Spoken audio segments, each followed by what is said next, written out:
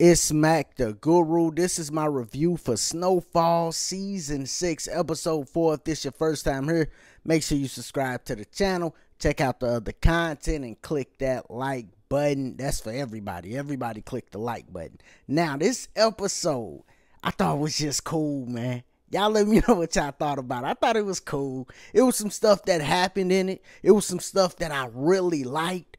First off, Franklin going back and cooking. Oh, I like that, man. Because it's more about not him going back and cooking, but him being a boss. Not like a, a little boss. He the big boss. You asked for the boss, so they sent me, dog.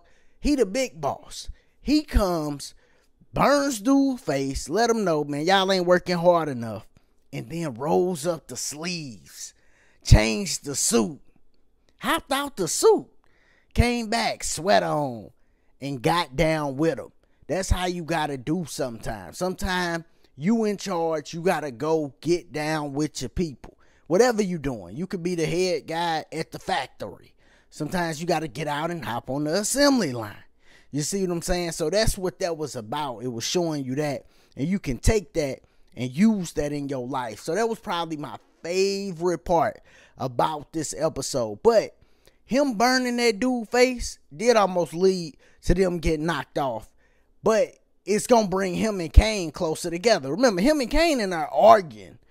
They literally argue. Ain't no telling where that argument would have led to.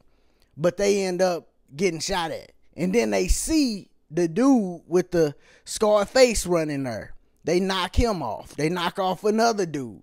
And him and Kane get up out of there. Kane can barely walk. So you know he gonna mess with Franklin after this because Franklin carrying him up out of there. You see, and they make it to the car. Both of them get up out of there, and best believe it's gonna be some get back on Aunt Louie and Uncle Jerome. If they could figure that out, that it was them, even though they at war with them anyway. But they might just think maybe this dude just doing this on his own. The guy that had the scar face, maybe that was just him on his own like, all right, I'm gonna come hit Kane since he let Franklin scar my face and ain't do nothing. You know, so they could think of that too. It could go either way. Now, we also had the big fight at the end. Leon wins the fight. It was kind of dark when they was showing the fight. I'm like, ah, they could have messed with the lighting a little bit, you know. And what's crazy is it was all over the light. It wasn't over the light. It was just building up because it's Leon Projects. He don't like how it's being ran. Dion really ain't a great leader at all. He don't want the, young boy to go to school. He wanted to be dark and the lights out. You know, Leon ain't going for that. He like, bruh, I didn't pay somebody to put this light in. I know you didn't just shoot this light out. And then on top of that, you talking about my wife, which that's one of the things you got to deal with when you wife the chick that a lot of people have been with. Cause let's believe, all them done been with Wanda. Cause remember she was strung out. So ain't no telling what she done did for some work. And she's struggling with that as it is. They need to get out the projects. like, dog, I was thinking about that when she was sitting in front of Cissy talking about she's struggling with the work. I get it. You want to help the people. Trust me, I get it. I want to help the people too. Best believe that and you go down and you help the people, you know. But you don't gotta stay there. You don't gotta be outside at night with your girl in the projects, just sitting on the stoop. like you don't gotta do it like that. You know what I'm saying? So they just need to get out the project. She need to get away from drugs, and then hopefully Dion did get knocked off. But if he didn't, they gonna have some problem. Cause Dion do got some muscle on him, and I don't think he the guy that's just gonna be like, okay, I take the back seat again. Nah, I don't think that's him. I think they gonna still be going at it if he ain't knocked off, and if he not knocked off, either he gonna accidentally kill that young boy that that uh Leon is mentoring, or that young boy gonna kill him before he can kill Leon.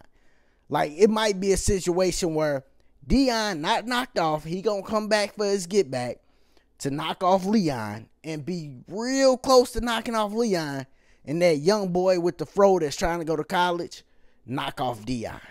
that's it could go a bunch of ways though. How they write it, it just depends. But you know, if I was in there, you know, that's something I'd do for sure, for sure. So it could go that way.